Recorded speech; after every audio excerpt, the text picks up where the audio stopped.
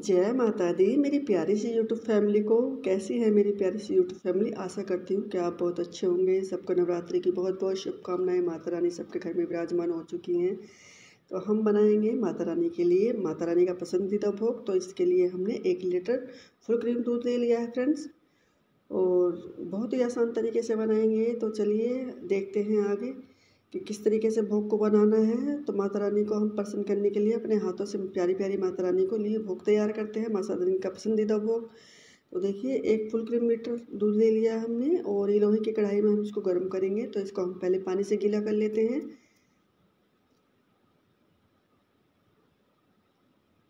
देखिए, पानी से हम इसको पूरी कढ़ाई में फैला लेंगे इस पानी को और इस पानी को हम फेंक देंगे। तो कढ़ाई को हमने गीला कर लिया है। इस तरीके से गीला करने से ना, जो हम इसमें दूध गर्म करेंगे तो तली में नहीं चिपकेगा, इसलिए हमने इसको पानी से गीला किया है फ्रेंड्स तो अब हम इसमें दूध डाल लेते हैं।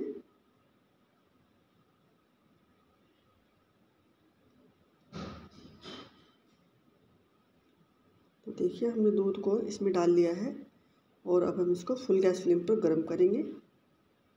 देखिए फुल गैस फ्लेम पर और हमने ले लिया है अपना औज़ार। इसको क्या बोलते हैं? पलटना बोलते हैं। हम तो पलटना बोलते हैं।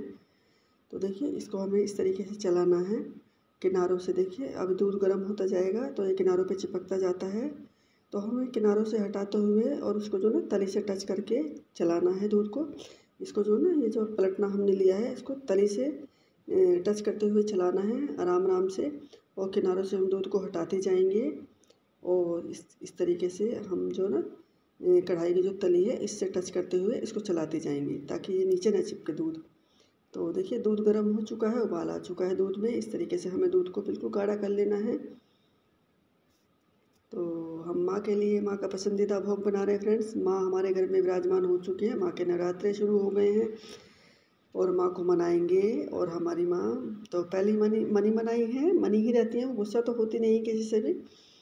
तो हम अपने हाथों से अपनी माँ को भोग बनाएँगे। तो हमें बहुत अच्छा लगता है अपनी माँ को, हम अपने हाथों से भोग लगाते हैं तो अपने हाथों से बनाकर खिलाएँगे तो हमें बहुत शांति मिलती है, बहुत अच्छा लगता है।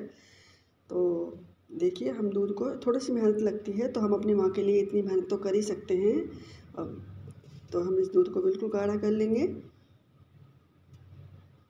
तो देखिए, मैं तो ना मेरा तो ये हर फ्राइडे का काम है, क्योंकि मैं हर फ्राइडे को माँ को एक लीटर दूध ये गर्म करती हूँ इस तरीके से। माँ के लिए हर फ्राइडे को भोग बनाती हूँ मैं, क्योंकि सैटरडे को मेरे को भोग लगाना होता है माँ को, क्योंकि सैटरडे का मेरा फास्ट होता है। तो सुबह सुबह पूजा करने होती है तो मतलब भोग लगाना होता है तो फ्राइडे को मैं ऐसे ही माँ को भोग लगाती हूँ, बनाती हूँ अपने हाथों से।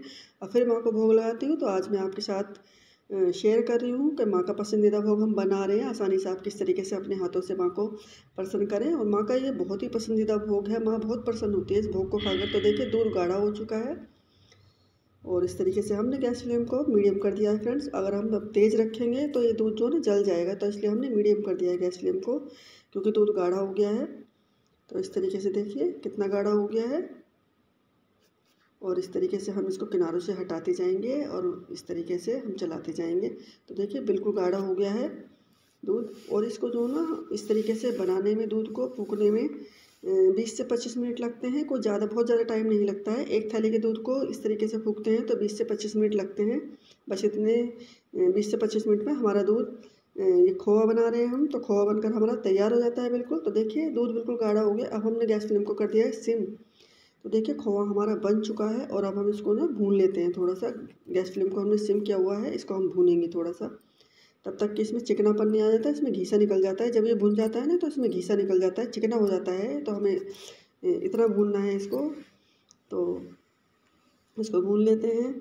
हम अपनी माँ के लिए अपने हाथों से भोग बना रहे हैं और माँ का बहुत पसंदीदा भोग है। बिल्कुल सिंपल तरीका है बनाने का। मेरे तरीके से आप ज़रूर बना कर देखें। और आपने मेरे यूट्यूब चैनल को अब तक सब्सक्राइब नहीं किया तो मेरे यूट्यूब चैनल को अब तक सब्सक्राइब कर लें फ्रेंड्स और मेरे फेसबुक पर अगर आप ये वीडियो फेसबुक पर देख रहे हैं तो फेसबुक पर फॉलो करें मेरे पेज को. ऐसी अच्छी अच्छी प्यारी प्यारी रेसिपीज़ मैं आके आपके लिए लेकर आती रहती हूँ. तो देखिए खोवा को हमने भून लिया है और खोवा हमारा तैयार हो चुका है, देखिए. सिम गैस फ्लेम पर भून रहे हैं हम इसको. ये बिल्कुल चिकना चिकना घी से निकल जाता है, चिकना हो जाता है. तो देखिए, खोवा हमारा भून चुका है, हम इसको दूसरे बर्तन में निकाल लेते हैं. देखिए इतनी मेहनत तो हम अपनी माँ के लिए कर ही सकते हैं ना? थोड़ी सी मेहनत लगती है तो अपनी माँ के लिए इतनी मेहनत तो हम कर ही सकते हैं। तो देखिए, अब हमने दूसरे बर्तन में इसको निकाल लिया है। हम इसको ठंडा कर लेते हैं। हर फ्राइडे को बनाती हूँ मैं, फ्रेंड्स, ये एक ही थैली का दूध को मैं बनाती हूँ भोग माँ को। तो हर सैटरडे को मैं व्रत रखती हूँ तो हर सैटरडे को मैं अपने हाथों से माँ को भोग लगाती हूँ। तो आज मैं आपके से, अब नवरात्र चल रहे हैं तो आप ज़्यादा भी बना सकते हैं। क्योंकि ये जो है ना, ख़राब नहीं होता तो आप इसको बना के रख लें, ज़्यादा बना लें। तो इसको हम जो ठंडा कर लेंगे इस खोवे को। तो आप ज़्यादा बना सकते हैं, क्योंकि ये ख़राब नहीं होगा, फ्रीज में रखें आप तो पाँच छः दिन आराम से ही चल जाएगा। माँ को रोज़ भोग लगाएँ इसका।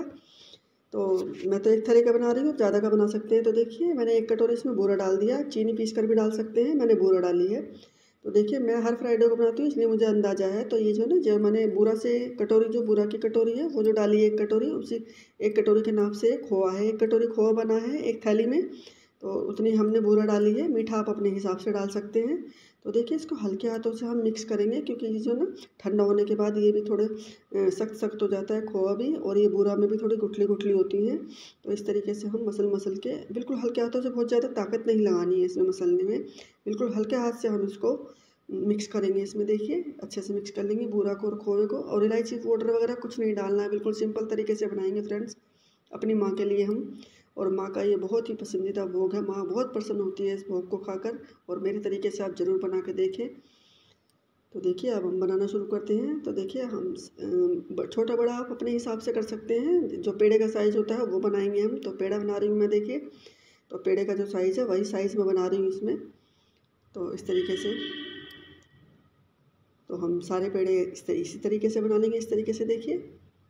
और बिल्कुल सिंपल तरीका बनाने का कुछ नहीं डाला है, अपने हाथों से। देखिए, हमने दूध को गर्म किया है, अपने हाथों से बना रहे हैं। माँ को बहुत प्रसन्न होती है। माँ का ये बहुत पसंदीदा भोग है और माँ इस भोग को पाकर बहुत ज़्यादा प्रसन्न होती है और हमें भी बहुत अच्छा लगता है जब अपनी माँ को हम अपने हाथों से खिलाते हैं। तो देखिए, सारे पेड़े हम इस तरीके से बना लेंगे और एक थाली में ग्यारह बारह पेड़े बन जाएँगे इस साइज़ के अगर आप बनाएँगे तो। क्योंकि एक एक थाली के दूध को मैंने बनाया है। खो बनाया है और इतने में, बारह तेरह बारह बनेंगे, बारह पेड़े बनेंगे, इतने में थोड़ा बड़ा साइज़ रखेंगे तो कम बनेंगे। और इस साइज़ के बनाएँगे तो बारह पेड़े बनेंगे, क्योंकि मैं हर फ्राइडे को बनाती हूँ तो इसलिए मुझे पक्का पता है और मैं हर बार बनाती हूँ तो इसलिए मैं आपको बता रही हूँ। तो देखिए, सारे पेड़े हम इस तरीके से बना लेंगे फ्रेंड्स